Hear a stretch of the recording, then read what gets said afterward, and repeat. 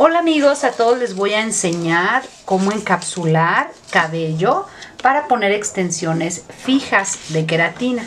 Entonces primero vamos a comprar nuestro cabello. Es muy importante eh, comentar cuando lo compramos que queremos un cabello para extensiones fijas, no para extensiones de clip, ya que el cabello es distinto para las extensiones donde se le ponen aquí los clips y son quita pong, que para las extensiones que vas a tener en tu cabello permanentes ya que tú las lavas constantemente, les metes calor, todo este tipo de cosas. Entonces es importante comentar eso cuando compremos el cabello o si es de algún cabello natural, pues obviamente este va a ser lo ideal, ¿no? O sea que, que te cortes el cabello, que compres cabello. Esto es más o menos de 120 gramos, lo que yo compré, que es lo que equipara a una cabeza. Entonces lo, más importante es encapsular bien. Así es que vamos a comenzar. Les voy a decir cómo lo hago yo. Vamos a necesitar eh, uno de estos como calentadores de queratina.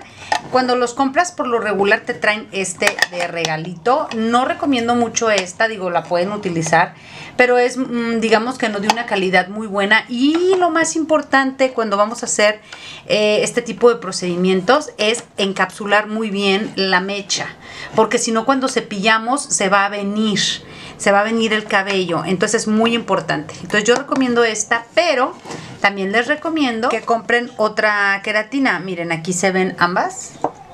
El color, si se fijan, es mucho más oscuro, como mucho más pura y pues de mejor calidad. Yo sí recomiendo que compren otra queratina. Y ahí les va un tip, un truquito. Cómprense también esta barrita. Esta es una barrita de queratina, de estas como, como parecidas a las de silicón. Entonces ahorita les voy a mostrar cómo cuando ponemos a calentar esta en este hay que ponerle un pedacito de esta. ¿Por qué? Porque si solamente pegamos la mechita con esta queratina, al momento de apachurrar con la pinza cuando la colocamos, esta queda dura y lo que va a pasar es que se va a quebrar. Al ponerle un poquito de esta otra, le da flexibilidad a esta para que sea manejable cuando la aplicamos y la ponemos ya con la pinza. Así es que bueno, pues vamos a comenzar para mostrarles cómo lo hago yo. Ok, lo que voy a hacer aquí es que de esta quebré un pedazo, saqué un pedazo de aquí, que viene siendo este pedazo y lo voy a poner aquí. Lo voy a poner ahí para que sea un pedazo y lo estoy poniendo directamente. Y mientras está derritiendo voy a cortarle un pedacito aquí, no mucha, solo es un pedacito así un poquito más.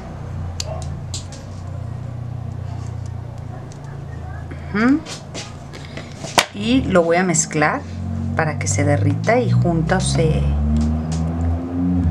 se mezcle ok aquí estamos dejando que todo se mezcle bien así para comenzar ahorita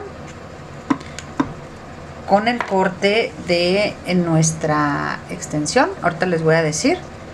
Para que sea como más fácil, lo que vamos a hacer es cortar un buen pedacito, más o menos que quepa aquí. Yo creo que como por aquí así, voy a cortarla. Un pedazo de nuestra cortina. Entonces yo ya corté este pedazo de mi cortina, pero lo que voy a hacer es sostenerla muy muy bien para cortar este pedazo, que es el pedazo donde eh, está cosido, como pueden ver ahí. Entonces, aquí para no desperdiciar el cabello por la orillita, nada más una vez que agarremos aquí, ya no hay que mover el dedo. Luego vamos a sacudir.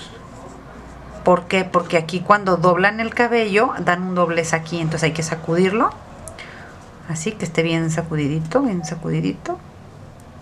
Y ahora sí vamos a dar la primera sellada. Aquí. Por el otro lado. Y ahora sí con nuestra navaja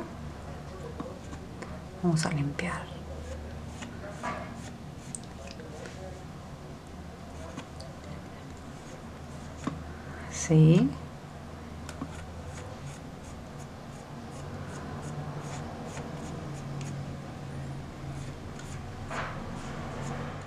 Dejamos así, que está más o menos para que no se nos mueva, vamos a cortar la, la mechita como queremos, las mechitas, así.